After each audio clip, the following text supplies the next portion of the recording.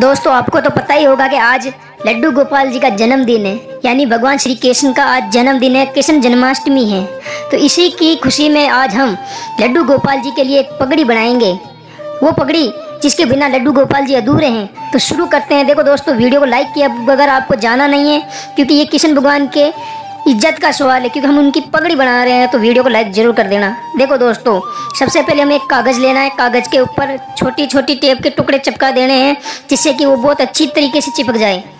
उसके बाद हमें क्या करना है कि इसको गोल गोल कर देना है। उसके बाद एक पीला वस्त्र लेंगे। उसको पगड़ी के ऊपर ब्लू गन की मदद से बहुत ही सावधानी से चिपका देंगे। और उसके बाद पगड़ी के लिए हम फिर से एक पीला वस्त्र लेंगे और उस पीले वस्त्र को राउंड राउंड राउंड करके, यानी गोल गोल घुमा के ब्लू गन से चिपका देंगे। साथ ही साथ ब्लू गन से इसलिए चिपका रहे हैं क्योंकि हमारी मेहनत पर पानी ना फिरे। क्योंकि हम चिपकाएँगे नहीं तो ये वापस उधर जाएगा तो हमारा यह कोई मतलब नहीं रहेगा। तो दोस्तों, पगड़ी को बड़ी सावधानी से बनाते हैं। उसके बाद इसके ऊपर नकाशी भी करेंगे। दोस्तों, पगड़ी बनकर तैयार है। अब इसके ऊपर गोल्डन झालर को चिपका देते हैं और ये ये कपड़ा गोल्डन की तरह ही चमक रहा है। उससे इसको राउंड राउंड चिपका देंगे, जिससे कि हमारी जो लड्डू गोपाल की जो पगड़ी है, वो बहुत ही सुंदर लगे। तो इसे फटाफट ब्लू गन से चिपका देते हैं। आप वीडियो में बने रहें। दोस्तों, उसके बाद एक लाल कपड़ा और गोल्डन कलर उस पर डिज़ाइन बनी हुई वो लेंगे और उसे इस कागज़ के सेम डिज़ाइन से काट लेंगे।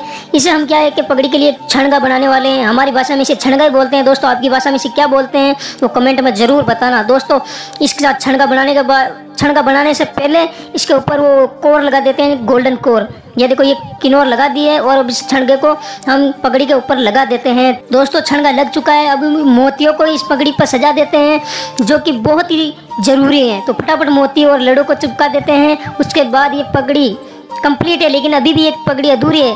पगड़ी क्या उसके बिना तो हमारे लड्डू गोपाल भी अधूरे हैं दोस्तों, वो है मोरपंख। तो मोरपंख, तीन मोरपंख लेके उसकी बड़ी अच्छी सी डिज़ाइन बनाकर पगड़ी के ऊपर लगा देते हैं दोस्तों। तो मोरपंख तो लग चुका है दोस्तों, लेकिन ये अभी थोड़ा बद्दा बद्दा लग रहा है। तो उसके ऊपर भी बीच में मोती चिपका देते हैं, तीन मोती चिपका देते हैं, जिससे कि ये बहुत ही सुंदर लगे। दोस्तों, सब कुछ रेडी हो चुका है, बस लड्डू गोपाल को ये पगड़ी पहनाना बाकी है। तो दोस्तों, ये लो, लड्डू गोपाल को ये पगड़ी पहना दिए। आप कमेंट में ज़रूर बताना कि ये पगड़ी कैसी लगी है। और हाँ दोस्तों वीडियो में पहली बार वॉइस की है तो प्लीज़ इसे ज़्यादा गौर से ना ले और हाँ इस चैनल को सब्सक्राइब ज़रूर करना। आपको और आपके परिवार को मेरी तरफ़ से हैप्पी जन्माष्टमी। दिल से धन्यवाद वीडियो को यहाँ तक देखने के लिए। Love you so much my YouTube family जो कि मेरी दुनिया है।